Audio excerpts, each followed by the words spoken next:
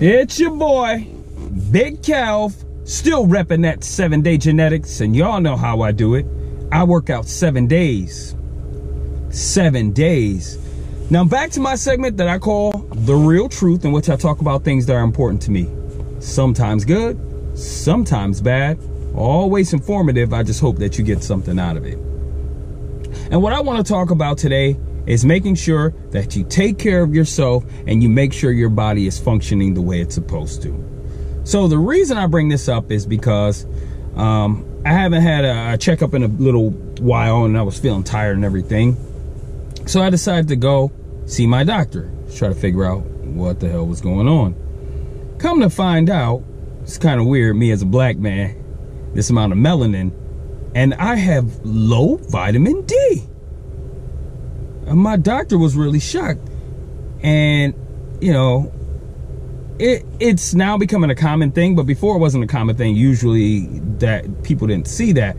But to be honest, as as one of the sun people, um, it's temperate here, so in the wintertime, I stay my ass indoors. And I don't get that much sun sunlight. Plus, I'm a vegetarian, so I'm not getting a lot of the foods that are high in vitamin D and I don't drink milk.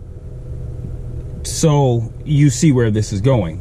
So now, because I wasn't paying attention, I have to make sure I take vitamin D pills to get my vitamin D level back up so I get that strength back. And I've been taking it for a few weeks now, and I, and I must admit, I do feel a difference.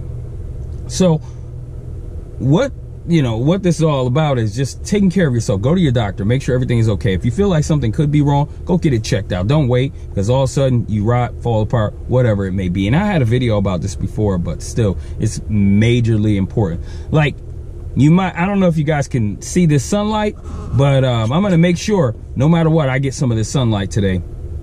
Um, even if it's just opening my uh, blinds just to get the sunlight in I'm gonna try to get it because I gotta be 100% healthy, man. All it takes is one thing and it can knock you off or put you in a position to where you can't do the things you used to be able to. And let me tell you something, your body can fall in such disarray so quickly that you're assed out before you realize what's even going on. And your body, to be to tell you the truth, by the time it tells you that something is wrong, it's been an issue. It's like being dehydrated. By the time you realize that you're thirsty, your body has known it for a long time. You just weren't privy to it. So you become thirsty, like, oh, I need to drink something. Your body's like, shit, yeah, you really need to drink something. Point is, you can't always just use just your body as an indicator of things. Just get your normal checkups. And like I said, if something is feeling like it's not right, don't wait for it to get better. Go get it checked out. You only get one of these bodies.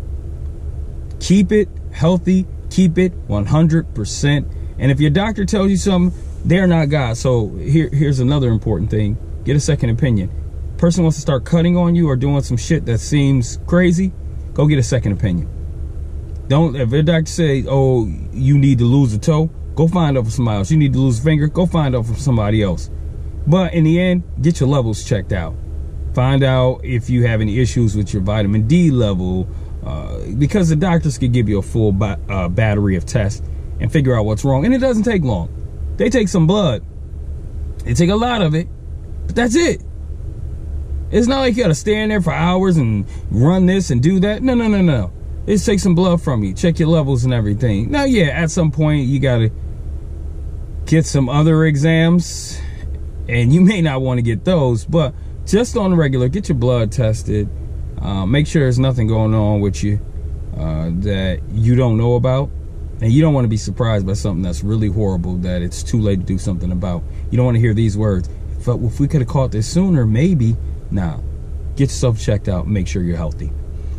And the reason I bring this up is, like I said, me. I just found out my vitamin D level was ridiculously low. Had no idea, but it makes sense because, like I said, I don't eat any meat, so I don't get any vitamin D from the meat. I don't drink milk, so I don't get vitamin D from the milk. To be honest, I take a multivitamin, but that's still not giving me enough vitamin D. And then here and there, I have a little bit of cheese, but that's not enough. So in the end, get your shit checked out.